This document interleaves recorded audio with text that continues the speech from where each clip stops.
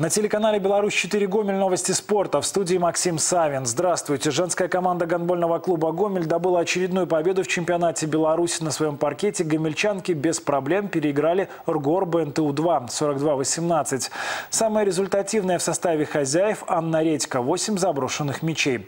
Мужская команда гандбольного клуба «Гомель» в минувший уикенд продолжила баталии розыгрыша Кубка. Стороны подопечные Сергея Цыганкова провели ответный поединок четвертьфинальной стадии.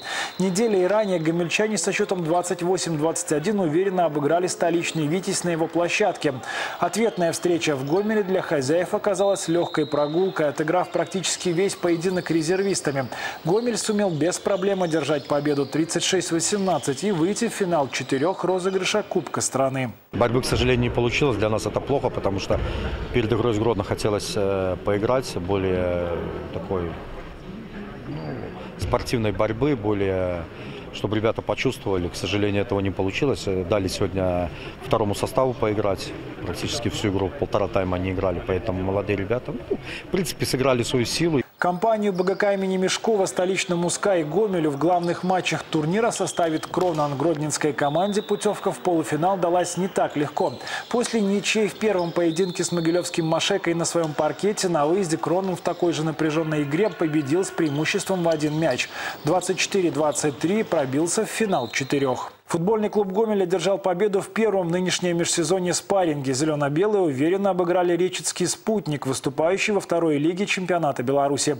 Матч проходил на стадионе «Сдюшор-8» в областном центре. Уже в первом тайме представитель элитного дивизиона обеспечил себе победный результат. Отличились дважды Роман Волков, Паразу Дау и Дмитрий Халимончиков. На старте второго тайма Дмитрий Бородин сделал счет 5-0. Правда, спустя две минуты «Спутник» отставание сократил. Результативный удар на счету Сергея Заболоцкого.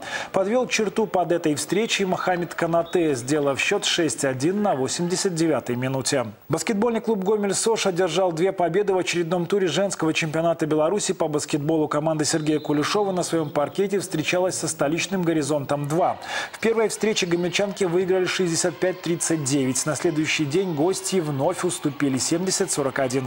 В турнирной таблице «Сош» замыкает квартет сильнейших, лидирует Гродненская «Олимпия».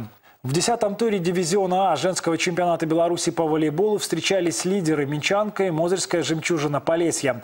Дважды сильнее были столичные волейболистки 3-2 и 3-0. А вот дубль жемчужины, выступающий в дивизионе Б, сыграл на минувших выходных удачнее. Две виктории над Барановическим Атлантом. Гомельская команда «Энергия» также одержала две победы в очередном туре мужского чемпионата страны в дивизионе Б. Гомельчане дома были сильнее Могилевского променя. Оба поединка завершились со счетом 3-0 в пользу хозяев. На этом пока все. С новостями спорта вас знакомил Максим Савин. Оставайтесь на «Беларусь-4».